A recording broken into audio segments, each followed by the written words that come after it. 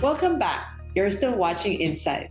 The Philippines' former socioeconomic planning chief says providing well targeted support to farmers is key to achieving food self sufficiency.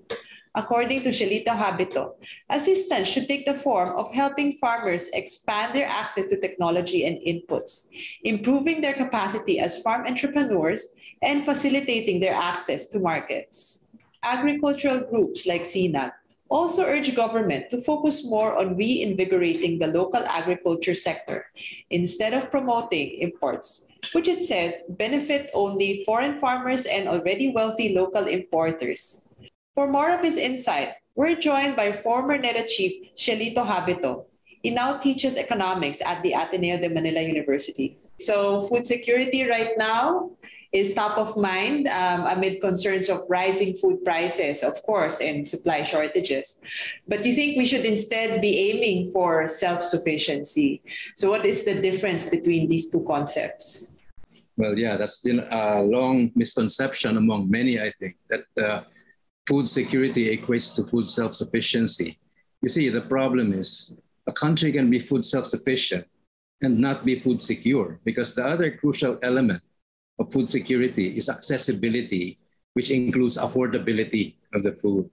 And this is the irony in our uh, history right now because we have had a traditional bias for rice and for getting full self-sufficiency in rice but the way that we tried to pursue that was something that led to our rice prices domestically being up to two to three times what it should be if we were more competitive with our neighboring countries. So, in short, the food, the, particular staple food of the Filipinos, rice, uh, is too expensive so that their food budget is often depleted just buying rice. So, they're, they're not left with the money to buy the protein foods and the vegetables and that's, of course, how our people get to be more malnourished.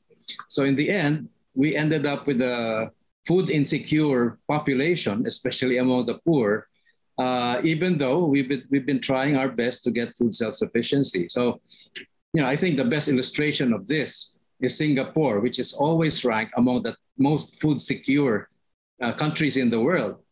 And yet, they're obviously very highly dependent on food imports. They don't, they can't produce very much of their own food domestically. But again, it's the accessibility to their population of food. So this is uh, the, the distinction that one has to make. That affordability, accessibility is just as important as availability in terms of being able to produce the food uh, right domestically or right at home. So there has to be a good balance between the two. So this is really the challenge now. But the availability becomes a question at this time when the Russia Ukraine war has really put into pressure food supplies worldwide. And so now we're troubled with this uh, high, higher prices of food in general, you know, uh, actually provoked by this uh, short supply in a very vital uh, food commodity in the world, which is wheat. And so, of course, a lot of wheat eating countries are now turning to rice as well. And that's why uh, rice supplies are also being uh, put under pressure. So, so now that availability part becomes more of a challenge again. And obviously, it would be a good idea if we had more of that rice available domestically so that we can uh, protect ourselves against any possible difficulties in importing rice. In your opinion, what does the next administration or the incoming administration has to do to achieve this self-sufficiency and um, what role do other sectors in the society play for this self-sufficiency well you know when we pursue self-sufficiency uh, it must be in an atmosphere where we are actually having open trade in rice meaning we should not do what we did in the past in our attempt to, to achieve self-sufficiency which was to close our own markets to imported rice see the only way for us to force ourselves to be able to produce the rice at the same cost, or at least close to the cost, of our neighbors, who of course are much more abundant in rice because they have better agroclimatic conditions. But the only way to force ourselves to actually uh, stay at the same cost or similar cost is to keep, uh, keep the trade lines open.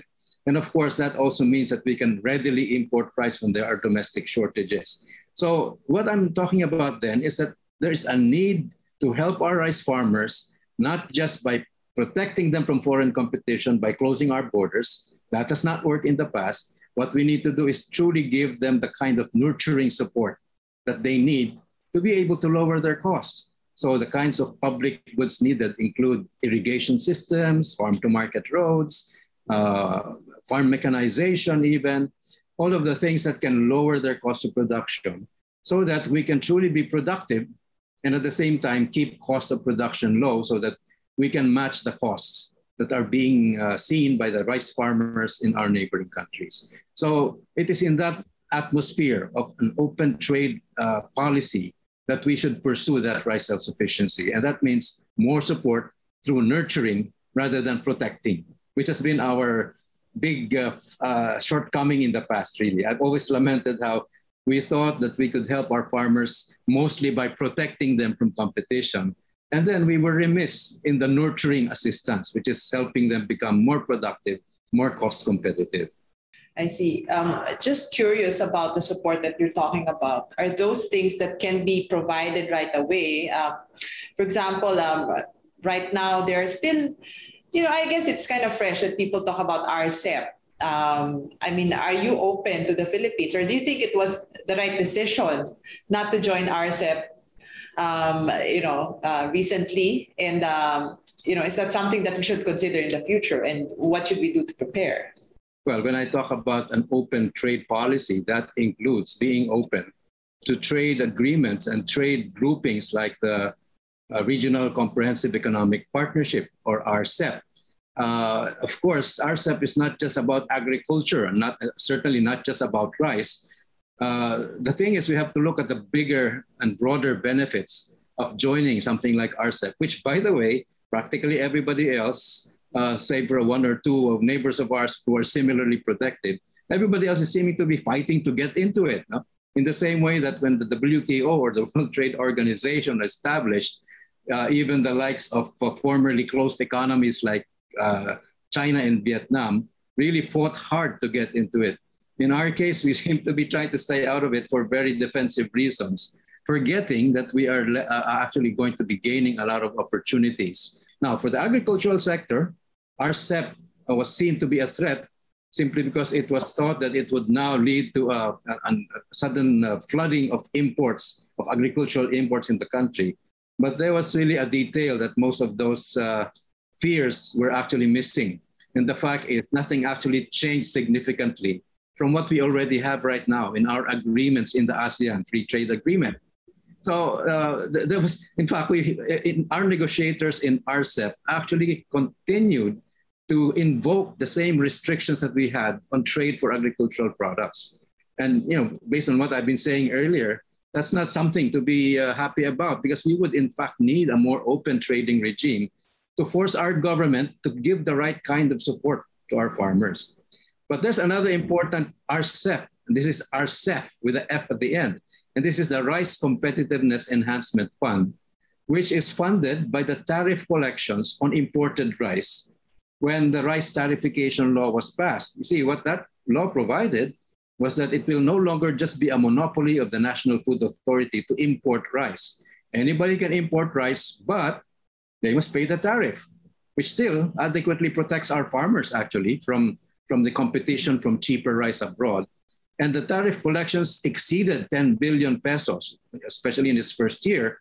And uh, that means that there's a lot of money that can be used to help our rice farmers achieve the productivity that they need that I've been talking about. No? And uh, the problem is it was allocated already uh, in fixed uh, percentages by our legislators, and they didn't give it much flexibility. What, it, what I mean is that in the first year, we could have used that money to help our farmers who were directly impacted by the lower prices of rice coming in and of course, even cash, outright cash subsidies would have been in order then. But the, uh, the RCEF, the, the Rice Competitiveness Enhancement Fund, was already earmarked for mechanization. So there's this PhilMech, that institution for mechanization of our farms. It was uh, uh, allocated in a very fixed proportion. So there was no flexibility on the part of the government to use the money where it was most needed, especially in the birth pains no, after the the rice tariffication law. But really there has to be much more flexibility to be able to uh, address the, the, the needs of our farmers in more focused ways, especially because uh, farmers, whether rice farmers or other farmers, have peculiar needs in different parts of the country. You can't look at them uniformly as if they had needs for the same thing. No? In some places, it may be post-harvest facilities. In other places, it may be more irrigation. In others, it may be farm-to-market roads. And then, of course, in others, it may be farm machines. No? But if you've already fixed, uh, allocated in a fixed way how you use the proceeds of the tariffs collected on rice, then your hands are tied how to be more responsive uh, to the actual needs down on the ground. So this is part of the reform that needs to be done by this administration to make sure that there is true devolution of agriculture and that uh, the decisions on how to help farmers are mostly made by our local governments, starting from the provincial governments who should be supervising the municipal uh, agricultural offices so that they can be much more responsive to the actual needs on the ground. Speaking of this new administration, I was just curious about your thoughts on the um, appointment of uh, Arsenio Balisacan to the NEDA. What are your thoughts on this? Is this something that you agree with? And, um, you know, uh, we still have, um, or the new administration has not yet appointed the Department of Agriculture Secretary. And what qualities should he have, he or she have? Well, I certainly welcome the appointment of uh, Secretary Arsenio Balisacan and uh, his return there will be a very uh, welcome uh, development because he knows exactly what uh, is needed. I think he's uh, often uh, described as the foremost authority on poverty in the Philippines. And that means his leadership of NEDA will actually also be highlighting the need to lower further the poverty incidence in this country, especially rural poverty. And the important thing to mention is he used to be an undersecretary at the Department of Agriculture. So he knows agriculture also like the back of his hand. He was the son of the far, uh, of a farmer himself. Uh, so again, he, he knows exactly what the agricultural sector needs. So that's a very welcome development indeed. And uh, you know the, the, the, lack of an appointment to this state, of a Secretary of Agriculture, to me, I like to look at it as that the incoming president realizes how important this sector is and is taking his time to make a really good choice. And you know, uh, I am told that indeed he is very much concerned that uh, the right person has to be heading the Department of Agriculture because there are so many challenges really in our agricultural sector. Now, having said that, though, I'd like to say all the time that agriculture is too important for us to rely on the Department of Agriculture alone.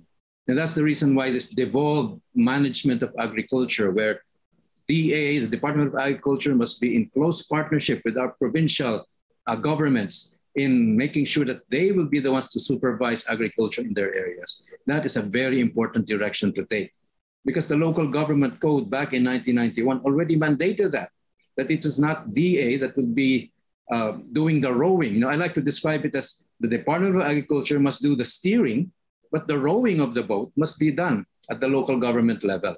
And that is the right way to go because they're the ones closest to the peculiar problems in their localities. They are the ones who would know best what would be the, the needed solutions to those problems that are peculiar to their particular localities. So it cannot be done on a cookie cutter or one size fits all approach coming from the Central Department of Agriculture.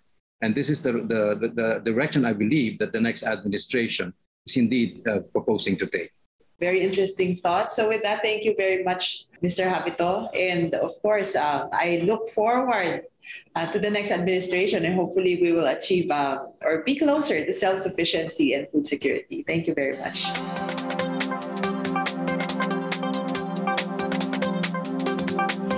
According to the UN Committee on World Food Security, Food security means that all people at all times have physical, social, and economic access to sufficient, safe, and nutritious foods that meets their food preferences and dietary needs for an active and healthy life.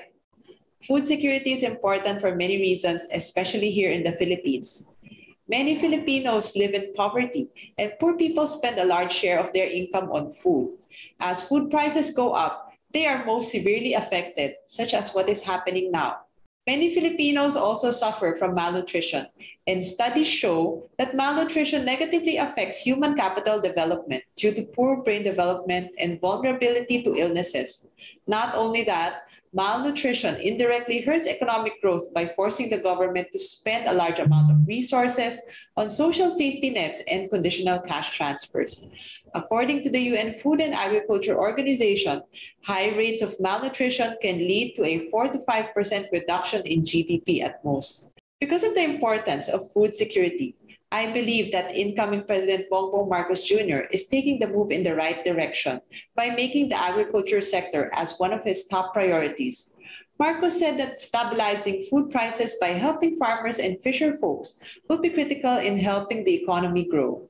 I'm hopeful that after his administration, the Philippines will have a stronger agriculture sector and that Filipinos will enjoy greater food security. Before we wrap up the show, we leave you with a quote from American businesswoman Irene Rosenfeld. It's clear that agriculture done right is the best means the world has today to simultaneously tackle food security, poverty, and environmental degradation. And that's it for this week's edition of Insight. I'm April Tan. Thank you for watching.